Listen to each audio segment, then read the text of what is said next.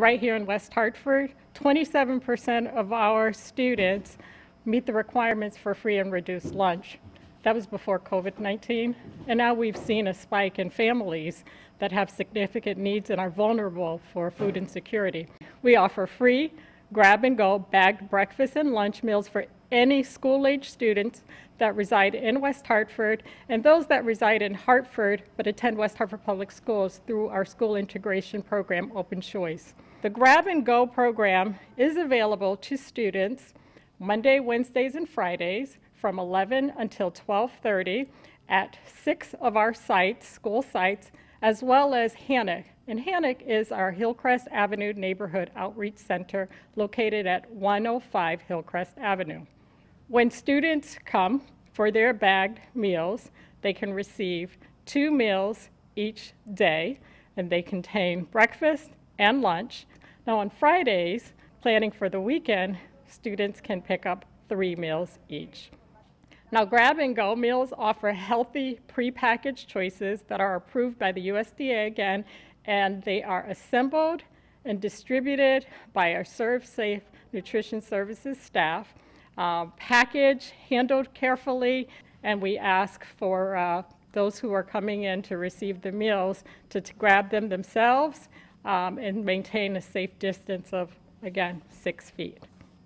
So we do handle them with care and they come with compassion. When they bring their meals home, we do suggest that they wipe them down and that they discard the outside package that they came in. We also recognize that parents, adults, and younger children, like infants in the household, need to maintain good nutrition and health. So we partner with other community organizations that offer programs such as West Hartford's Food Share, uh, West Hartford's Food Pantry, uh, Fern Street Ministry. They offer a Friday food backpack program as well as Gifts of Love. We recognize that this is a challenging time for many families, and so we would encourage anyone who's worried about nutrition, um, and food. There is a website, whps.org, where you can find all the information about the West Hartford Public Schools Grab and Go program, as well as some of our other uh, food share partners.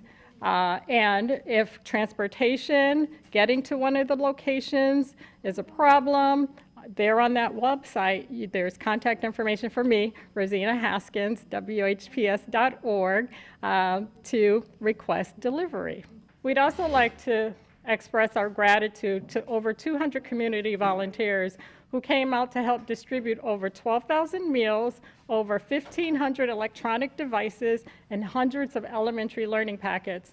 We are also grateful to WHCTV for keeping our community informed. We're just thrilled to have our online school going and have our students who have access now to devices, uh, learning materials, and uh, we just want to encourage everybody to stay informed and to stay safe.